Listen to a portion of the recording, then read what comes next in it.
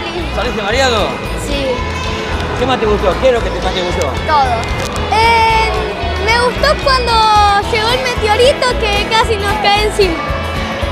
¿A vos qué más te gustó? Me gustó cuando cayó el meteorito como que nos cayó arriba. ¡Wow! Y los- eso como los ladrillitos.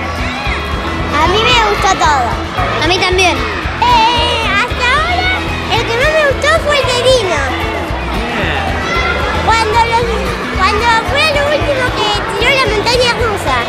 Este martes llegó a San José de la Esquina el planetario móvil. Se instaló en el patio cubierto de la escuela número 542. Allí estuvimos nosotros con nuestras cámaras y obtuvimos una nota con la directora de la escuela, María Laura Llosa, y también los comentarios de los niños que pudieron pasar por esta hermosa experiencia durante todo el día martes.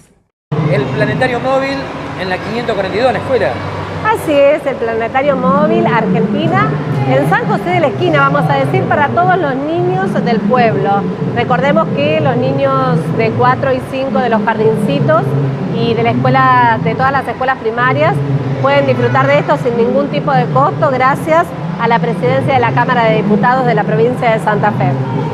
Este, bueno, varias funciones, o sea, en la mañana hubo como cuatro funciones o cinco. Sí, más, más también de cinco funciones y otro tanto para la tarde tenemos programada. Todos los chicos de San José Esquina. Así es, todo lo que es escuela primaria y jardincito. Estuviste viendo qué es lo que se ve adentro, qué es lo que hay. Y yo me hice un viajecito a la luna para probar que era el de la mañana temprano. Ya después sabía que mis tareas me iban a tener más convocada la organización. Es una experiencia linda, la gente que vivimos en un pueblo habitualmente no disfrutamos de este tipo de cosas. Para la mayoría de los chicos es la primera vez que están viviendo una experiencia virtual en 360 grados. Para otros no. Hay nenes que tienen acceso a ir a otros lugares y ya lo han visto. De todas maneras, siempre hay algo que los papás y los docentes tenemos que recordar. No es lo mismo una experiencia junto a papá, mamá y mis hermanos que una experiencia compartida con los compañeros de grados. Estas no se olvidan, tienen otro sabor. Fue la 542, está en este mes aniversario. Sí, en realidad lo hacemos en función de eh, ayudar a los nenes a construir sus propias trayectorias escolares desde otro lugar. porque estas son experiencias que van sumando, donde nos vamos ayornando, todas las funciones son educativas, tanto el viaje cósmico como el de los dinosaurios, salvar el planeta, todo tienen un porcentaje importante, además de lo que se vive en el momento, para ser trabajado después desde el aula.